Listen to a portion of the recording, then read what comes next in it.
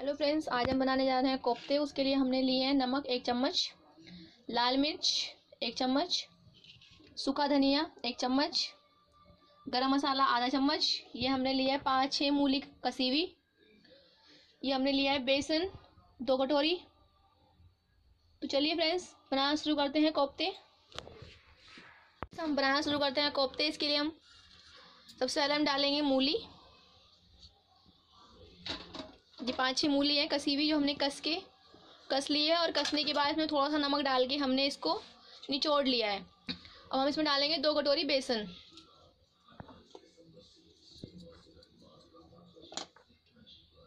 डालेंगे एक चम्मच लाल मिर्च पिसी हुई। डालेंगे एक चम्मच नमक पिसा हुआ अब डालेंगे इसमें हम एक चम्मच सूखा धनिया। फिर डालेंगे आधा चम्मच गरम मसाला। हम इन सबको जो है मिक्स कर लेंगे। हम सब चीज़ों को मिक्स कर लेते हैं।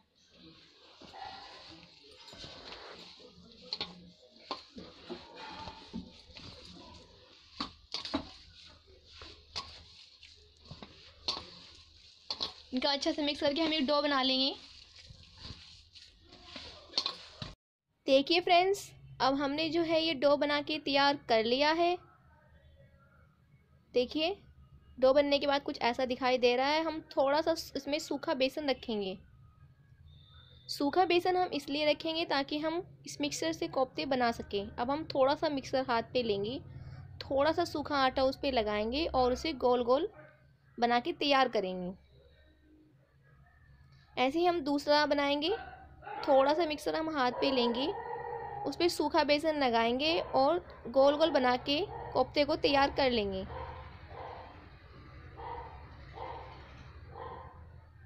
ऐसे हम बना के तैयार करेंगे।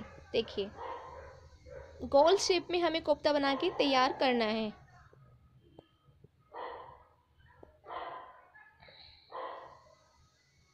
ऐसे ही हम सारे कोफ्ते बना के तैयार कर लेंगे। देखिए फ्रेंड्स, हमने ऐसे सारे बना के कोफ्ते अब तैयार कर लिए हैं। देखिए, मैं आपको दिखा देती हूँ। हमने सारे कोफ्ते ऐसे बनाए हैं, गोल गोल, और हम हमने एक कढ़ाई ले लिया उसमें हमने अपना तेल गरम कर दिया है। हम इसमें हम कोफ्ते को फ्राई करना स्टार्ट करेंगे।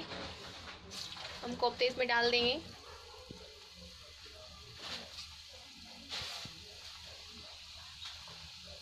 और हम इसको लो फ्लेम पे फ्राई करेंगे। हमने गैस का फ्लेम लो कर दिया है।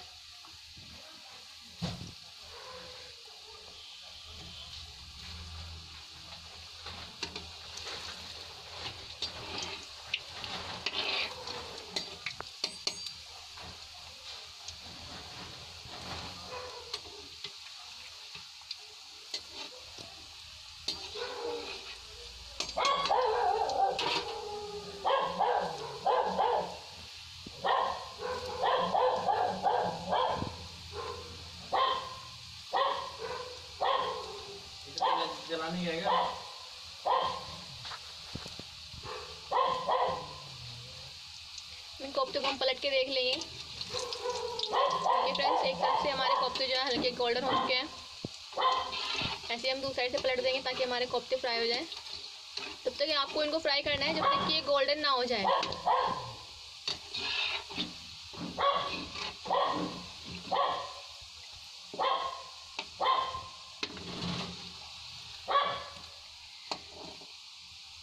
हमारे कोफ्ते जो है अच्छे से गोल्डन हो चुके हैं और हमने अच्छे से कोफ्ते को फ्राई कर लिया। हम इनको निकाल लेंगे। देखिए, हमने ही बर्तन में कोफ्ते निकाल लिए हैं।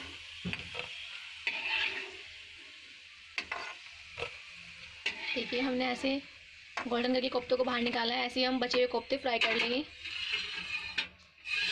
हमने सारे कोफ्तों को जो है फ्राई कर लिया है। ये देखिए, हमने सारे कोफ्ते अच्छे से फ्राई कर लिए हैं। और हम सब्ज़ी बनाना स्टार्ट करते हैं। हम स्टार्ट करते हैं कोफ्ते की सब्ज़ी बनाना, इसके लिए हमने ये कोफ्ते लिए हैं फ्राई किए हुए। ये हमारे पास है हल्दी एक चम्मच, जीरा आधा चम्मच पसी हुई लाल मिर्च एक चम्मच किचन किंग आधा चम्मच, नमक एक चम्मच। या अपने स्वाद अनुसार भी डाल सकते हैं। ये हमने डाल लिया है पिसी हुई मिर्च दो चम्मच, अदरक, लहसुन, प्याज, जीरे का पेस्ट आधा आधा चमचा एक कटी हुई प्याज। तो चलिए स्टार्ट करते हैं सब्ज़ी बनाना। ये हमने एक कढ़ाई में तेल गरम कर लिया है। और इसमें डालेंगे आधा चम्मच जीरा।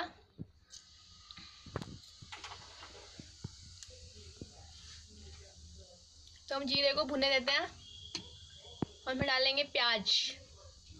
प्याज, एक कटी हुई प्याज। इसे हमने बारीक काट लिया है।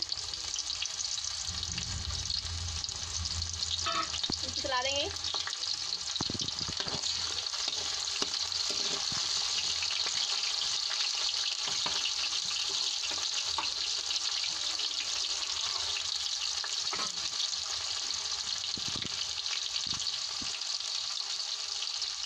हम प्याज को हल्का सुनहरा होने तक भूनेंगे।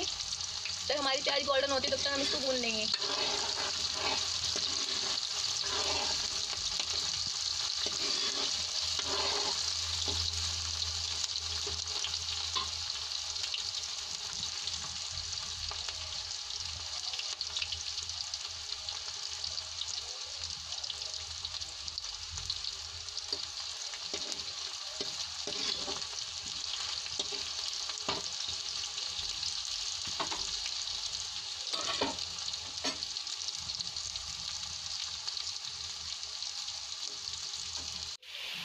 ये हमारी प्याज। हल्की गोल्डन हो चुकी है, हम इसमें डाल देंगे अदरक, लहसुन, प्याज, जीरे का पेस्ट आधा चमचा।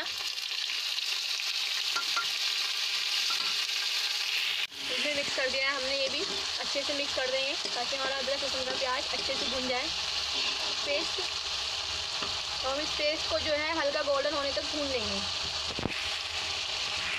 फ्रेंड्स ये हमारा मसाला जो है भून चुका है। हम इसमें डालेंगे एक चम, दो चम्मच पिसी मिर्च।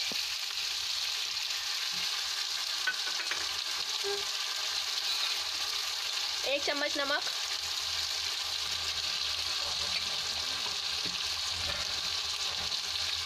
एक चम्मच लाल मिर्च पिसी हुई। एक चम्मच हल्दी। आधा चम्मच किचन किंग। इन सबको मिक्स कर देंगे।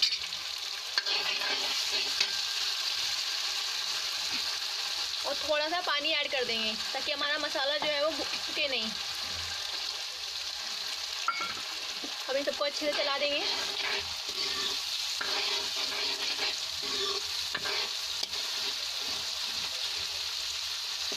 मसाले को हमें हल्का भूनना है, ताकि हमारा मसाला अच्छे से भून जाए।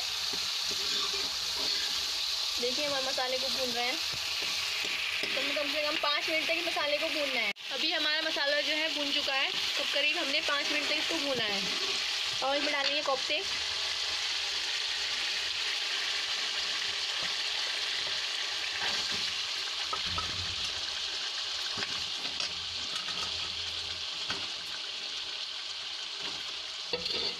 हम कोफ्ते को मसाले के साथ अच्छे से मिक्स कर लेंगे, ताकि हमारे कोफ्ते में मसाला अच्छे से भर जाए।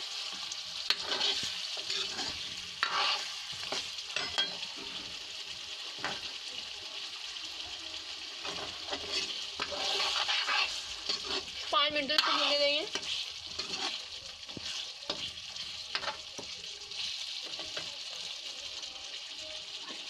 और में डालेंगे पानी। दो गिलास पानी ऐड करेंगे इसके अंदर हम।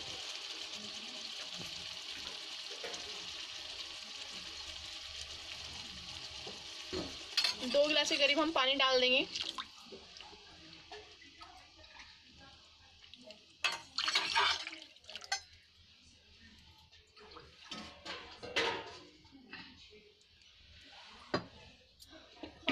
मिक्स कर देंगे पानी को भी।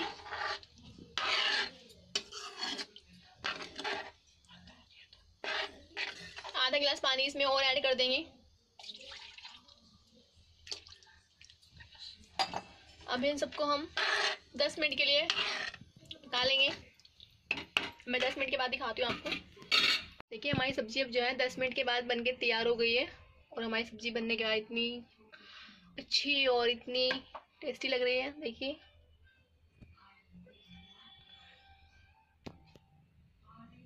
सब्ज़ी को सर्व कर लेते हैं। देखिए फ्रेंड्स, अब हमने सब्ज़ी को तैयार कर लिया है। देखिए, सब्ज़ी बनने के बाद कितनी टेस्टी और यम्मी लग रही है और दिखने में भी काफ़ी कलरफुल लग रही है। अगर आपको हमारी रेसिपी अच्छी लगे तो प्लीज़ चैनल को लाइक करें सब्सक्राइब करें कमेंट एंड शेयर करें। Thanks for watching